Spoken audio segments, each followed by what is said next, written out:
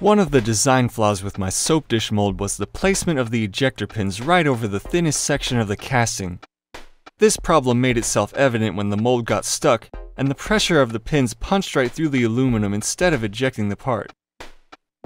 To fix the thin section problem, I decided to modify the mold so the ridges at the bottom of the soap dish would protrude upwards instead of down, thereby thickening the section.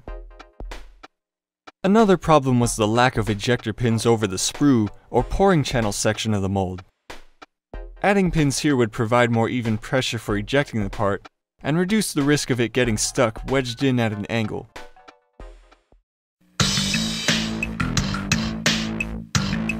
GreensandMachines.com.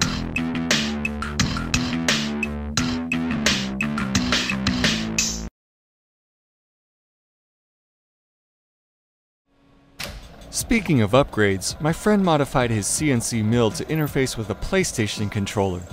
This made jogging the axes so much easier than having to press buttons on the computer. I guess all those years of playing video games finally paid off. Here I am drilling the holes for the new ejector pins.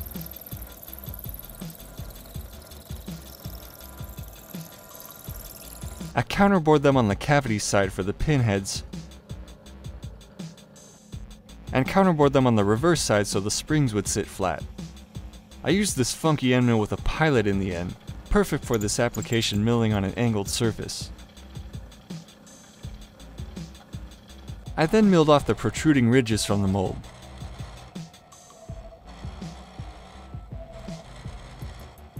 Now, machining and holding the camera with your other hand has never been easier.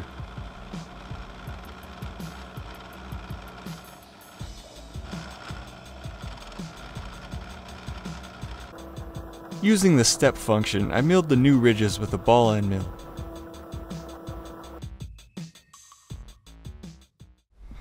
Alright, here we have some upgrades to the molding press. I added two more ejector pins so that we have ejection on the sprue part of it. Furthermore, I added an adapter for an impact wrench so I don't have to use that big handle to open and close it. And what you're seeing below this is a DJ coffin case modified to be a platform so this thing doesn't spin round and round when it's unscrewing. So I just carriage bolted some wood on there. Really, it's just a temporary to see if this thing works, so I don't care if it gets lit on fire. I received this as a partial to some trade, and the guy had it in his side yard for who knows how long, and there's a whole bunch of mold inside it. Anyways, here's pouring mode and there's this little cup thing. This goes right there to aid pouring.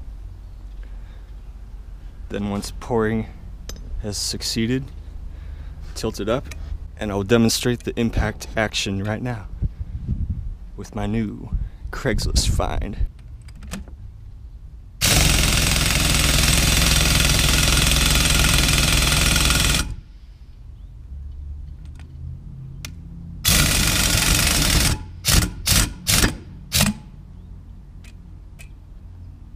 Now over here I have another permanent mold I recently completed. And for those of you Italians watching, no, this is not a big pizzelle press. It is a mold for 1 and 1 16th inch aluminum round stock. Basically an ingot mold shaped like round bars. Make it a useful shape so you can turn it in the lathe. So we'll be trying that out today.